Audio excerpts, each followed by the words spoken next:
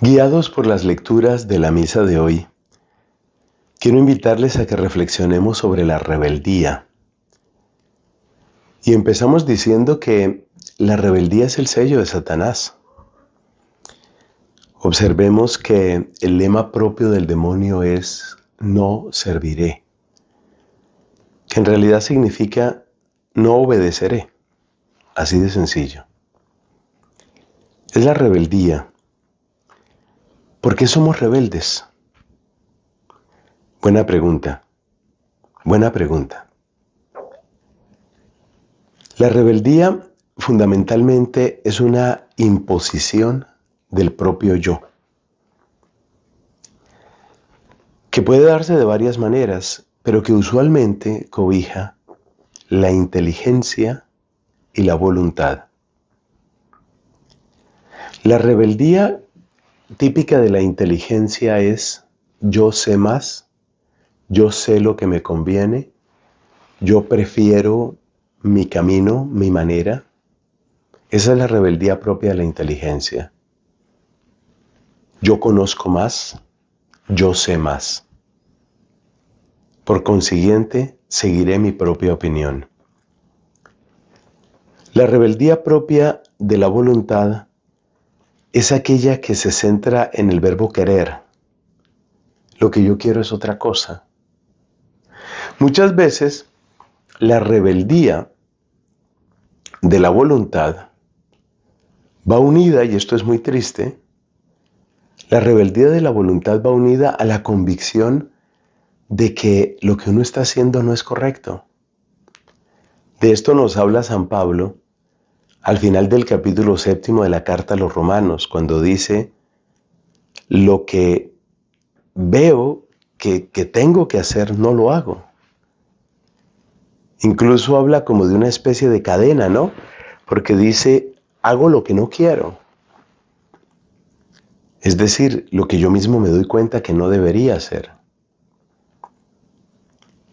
Entonces, la rebeldía que lleva el sello de la inteligencia es yo sé más. Y la rebeldía que lleva el sello de la voluntad es yo quiero otra cosa. ¿Cuál es el precio que se paga por la rebeldía? Cuando se trata de rebelarse contra Dios, que es el caso que nos interesa aquí,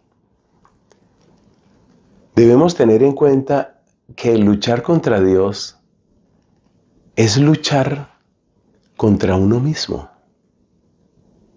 Me explico. Todo lo que yo soy y todo lo que tú eres y todo lo que es cada ángel y todo lo que es cada ser humano, todo lo que somos, todo viene de Dios. Esto significa que el que de verdad nos conoce, el que de verdad nos ama, el que quiere nuestro mayor bien es Dios. Y si es Dios el que quiere nuestro mayor bien, entonces rebelarse contra Dios es perder mi mayor bien. Lo mínimo que va a suceder con la rebeldía es que me voy a apartar de mi mayor bien.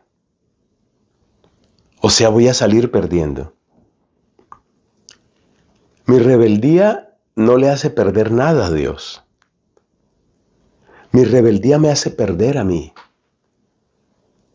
Y en el peor de los casos, o sea, lo mínimo que sucede con la rebeldía, es que me pierdo lo que era mejor. Lo que era mejor para mí. Pero en el peor de los casos, la rebeldía me va a llevar a algo espantoso y es perderlo a Él. Es lo que nos recuerda el Evangelio. El que no está conmigo está contra mí. Y estar contra Cristo es estar en contra del dueño del universo, del Señor de cielos y tierra. Es perderlo a Él. Es perder mi auténtico bien. Como bien enseña la teología católica cuando explica sobre el infierno, la pena principal del infierno no son las llamas, o la asquerosa compañía de los demonios, o la sensación de odio impotente. Todo eso es real, pero lo peor del infierno es quedarse sin Dios. Y la rebeldía me pone en esa ruta.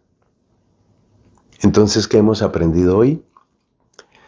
Hemos aprendido que la rebeldía es una especie de inflamación del ego que quiere imponerse. Hemos aprendido que hay una rebeldía de la inteligencia, que es cuando uno cree que uno sabe más que Dios. Y hay una rebeldía que es rebeldía de la voluntad, que es cuando uno, incluso sabiendo lo que es correcto, quiere imponer lo que uno quiere. Y hemos visto también las consecuencias de la rebeldía. Me pierdo de lo que era mi mejor opción, ese es el número uno. Y número dos, la rebeldía puede llevarme al extremo de perder a mi mayor tesoro, la amistad y la comunión con Dios.